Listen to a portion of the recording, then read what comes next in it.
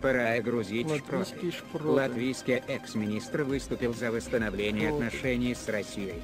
В латвийской прессе появилась статья, в которой в нехарактерном, для последнего времени варианте рассказывается о взаимоотношениях с Россией. В этой статье газета «Дианас Бизнес» бывший министр сообщения, транспорта, Латвийской республики Андрей Сматис говорит о том, что испорченные отношения с Москвой за последние годы не привели в Латвии ни к чему позитивному с экономической точки зрения. В частности, отмечается, что западные санкции в отношении России и ответные российские ограничительные меры послужили причиной того, что Латвия потеряла существенную часть экспорта, который ранее шел именно в Российскую Федерацию. Потеряла, по оценкам Матиса, и транзитная отрасль Латвии.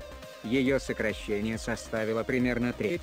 Жалась и латвийская пищевая промышленность. Матис отметил, что Латвии для нормального функционирования экономики важно начать восстановление полноформатных экономических отношений с РФ.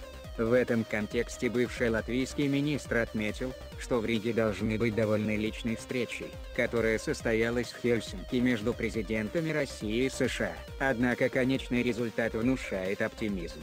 Очень важно, что такие переговоры проходят и президенты разговаривают друг с другом по-человечески.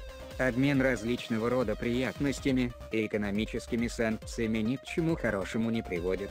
Надеюсь, что со временем и экономические разногласия между США и Россией уладятся.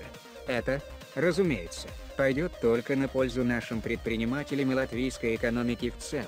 А пока бывшие прибалтийские министры рассуждают о том, что России и США пришло время поладить, власти действующие поддерживают антитрамповскую истерию, элит США, отмечая, что Трамп готов слить страны Балтии Путину. Каждому свое. На этом все. Канал Политгурман. Пишите ваши комментарии под этим роликом. До свидания.